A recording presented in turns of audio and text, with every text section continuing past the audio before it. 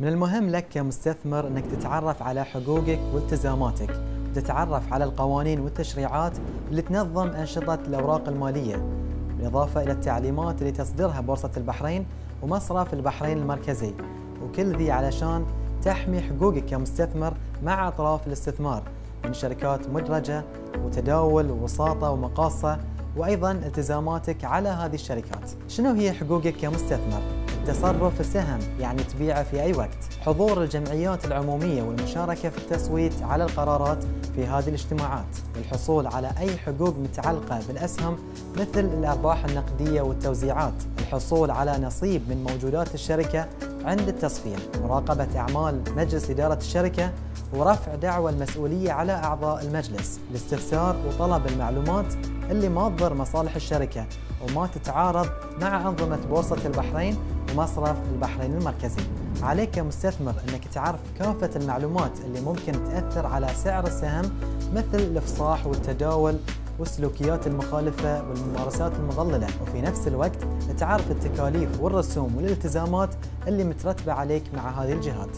في حال احتجت أنك تبلغ عن الاحتيال أو ترفع شكوى لازم تتأكد بأن المشكلة تتوافق مع المعايير وهذه المعايير هي أن تكون الشكوى عن المنتجات والخدمات اللي تقدمها بورصة البحرين وشركة البحرين للمقاصة. أن تكون الشكوى ضد جهة مرخصة من قبل بورصة البحرين ومصرف البحرين المركزي وأن تكون الشكوى مبلغ عنها مسبقا عند الجهة المعنية بالشكوى. وبيتم معاينة الشكوى بعد مدة لا تتجاوز أربعة أسابيع من تاريخ التقديم. في حال تقدمت بأي شكوى بيتم إرسال إقرار بالاستلام أول ما يتم استلام الشكوى وبعدها بيتم معاينة الشكوى خلال خمسة أيام من تاريخ استلام الشكوى. بعدها راح يعطيك مسؤول الشكاوى التحديثات عن أي مستجدات متعلقة بهذه الشكوى.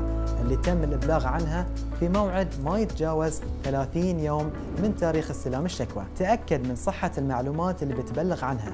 وحاول تحدث المعلومات والتواريخ إن أمكن علشان تسهل عملية مباشرة الشكوى. بإمكانك تتواصل مع مصرف البحرين المركزي وبورصة البحرين من خلال موقع البورصة اللي هو بحرين دوت كوم أو تزور مقر البورصة أو تتواصل مع تطبيق تواصل أو البريد الإلكتروني complain at bahrainbors.com أو عن طريق الاتصال على الرقم 17 10 8776